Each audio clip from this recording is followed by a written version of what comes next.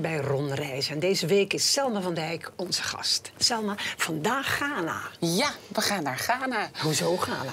Uh, ik ben jaren geleden uh, gevraagd om uh, ambassadeur te worden voor een, een stichting... Um, die geld inzamelt voor een kindertehuis in Ghana. En uh, dat uh, wordt uh, gerund door Mariette. Die staat hier links op de foto.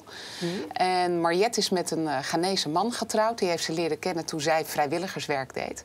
En zij werkten samen in een kindertehuis en waren het totaal niet eens met het beleid.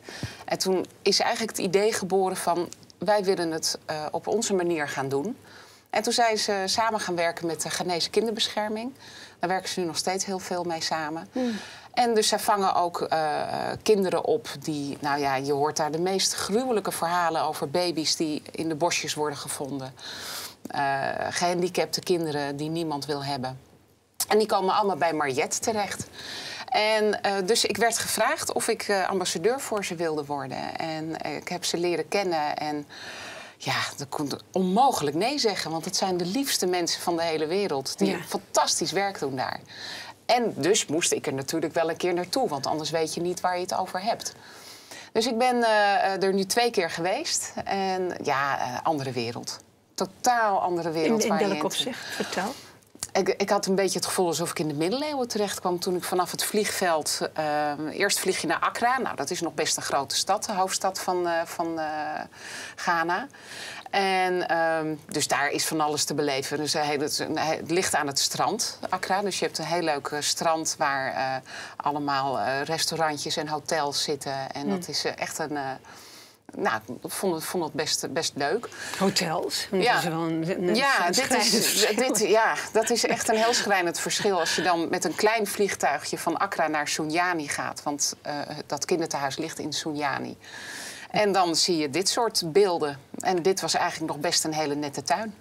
Want het uh, kan veel erger, heb ik gezien. Ja, oh ja, is, dit ja. is een nette tuin. Ja, ja. Met die banden. Uh, ja, ja. ja. Dat is een soort uh, schutting, denk ik.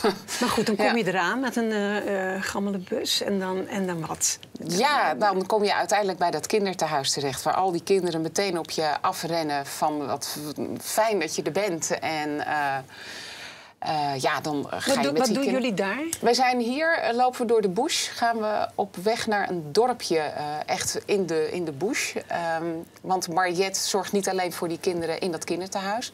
Zij gaat ook op pad om in dit soort dorpjes oh. te kijken of het goed gaat met iedereen. ze deelt malaria-tabletten uit. Ze delen van die netten uit die ze boven hun Wanneer kunnen gaat het goed bij deze mensen? Want als je dat zo ziet, dan denk je wanneer.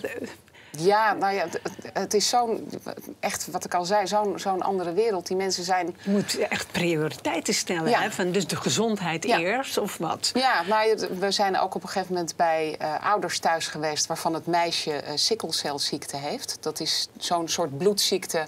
Ehm, en zij eh, zit nu bij Mariette in het tehuis.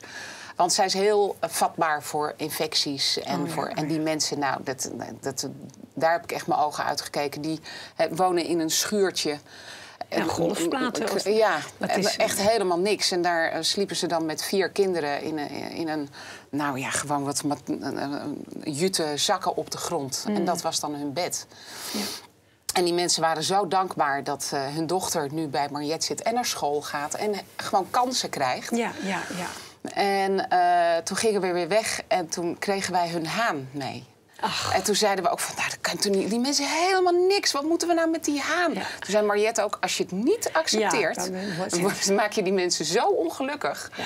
Dus toen gingen wij weer door de bush met een haan. En uiteindelijk zaten wij in zo'n pick-up truck in die achterbak. En die haan zat in zijn eentje op de achterbank binnen. Dat was ook heel apart. We hebben echt zulke gekke dingen meegemaakt.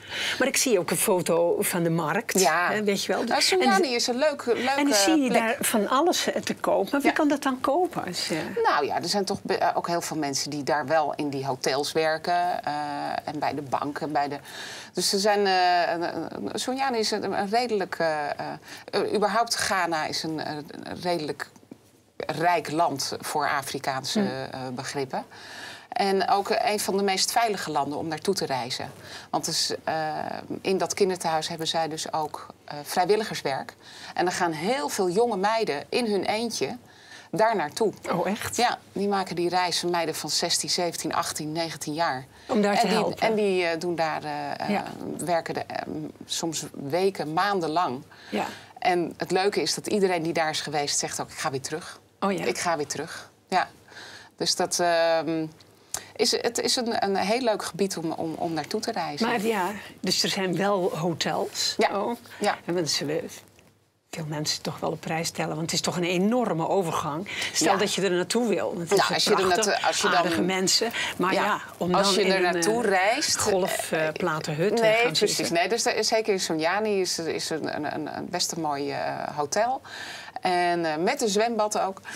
Ja. En, maar als je er naartoe reist en je rijdt over die, die wegen... en alles speelt zich af langs de kant van de weg. Hè. Het is, ja, Oh, ja. Dit is echt in de bush. Dus hier, Ja. eh, maar hier zie je dus ook schoolkinderen die lopen. Het, het is verder... eh, nou, we zijn één keer naar een school geweest en er kwam wel een schoolbus. Dat heb ik ook... Ik dacht, dit kan gewoon niet. Er kwam geen eind aan aan hoeveel kinderen uit die bus kwamen.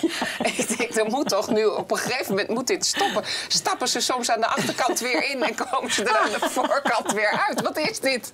Twee keer reizen de veel prijs kinderen. van één. ja, ja, maar die worden dan zo, want die moeten dan kennelijk echt, echt te ver lopen. Ik vind dit ook zo'n mooie foto. Gewoon Ja, bloedheet. En die jongen staat Ja, met zijn- staat hij met zijn ja, dikke jas aan. en zo. 24 graden God, vies tegen, ja. trots op zijn jas. Nou ja, goed. eh, als u meer wilt weten over de stichting... of het is het, eh, Ja, Stichting Kinderthuis. Hanukkah. Ja, en Stichting, Stichting Kinderhuis. Ja. Dan eh, Selma van Dijk.